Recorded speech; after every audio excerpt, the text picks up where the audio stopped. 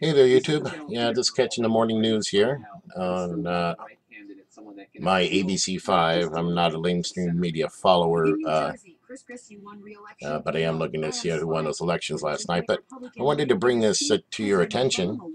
Uh, a blackout alert. Uh, it always seems like things happen while they are doing drills. I'm out here on our local site here, KCCI 8, okay, so I'm not out on before it's news and reporting something out there on that site, um, which is a great place to go for some uh, uh, alternative news sources. So uh, to stay in the know, but um, this is just off of our local website. Iowa Utilities to join National Blackout Drill. And I'll just go ahead and read it for you right quick. Um, Iowa's largest electric utilities will participate next week in a national blackout drill. This is next week, on Tuesday and Wednesday of next week. Mid-American Energy and Alliant Energy confirmed they will be involved in GridEx II on Tuesday and Wednesday. The drill is sponsored by the North American Electric Reliability Corps.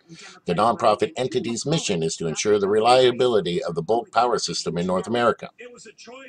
The drill will include a simulated and prolonged blackout and will involve thousands of utility workers, business executives, anti-terrorism experts, and government officials from the United States, Canada, and Mexico.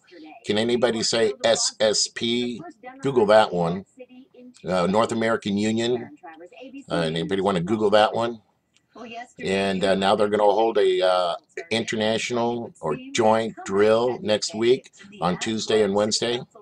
And given the activity on the sun lately of X flares popping off, and you know, I hear some people trying to minimize that, but you know, that is a genuine threat to Earth is us losing our electrical grids.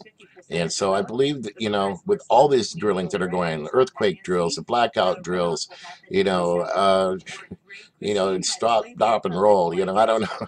You got all this stuff that's, all these drills that are going on. They were even drilling during the Boston bombing, okay? They were drilling during 9-11. Uh, so, uh, you know, this is something to pay attention to, folks. Mid-American spokesman Ju Julie White described GridEx II as a tabletop exercise. Alliant spokesman Justin Foss said the drill would not affect Iowa's electrical customers. That's for Alliant Energy. I wonder if it'll affect any Mid-American Energy customers. Or, you know, this is a national drill, though. This is not just happening uh, here in uh, Iowa. So, uh, will there be blackouts uh, next week somewhere in the nation uh, during this drill? I think it would be a, a wise of us to uh, keep a lookout on that.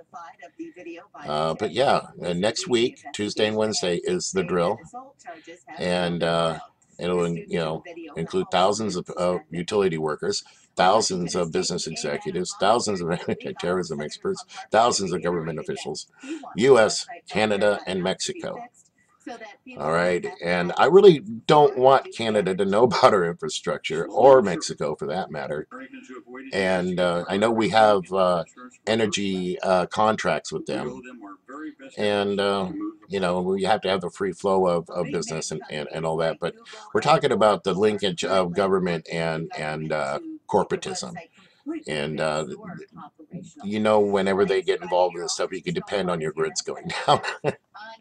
and stuff to happen. So, uh, you know, Fukushima is a good example. But blackout alert, guys. Look out for next week. Uh, is there going to be some new sunspots going to rotate into view? Uh, you got 1890 that still be uh, probably rotating out by that time, but uh, more to come, you know.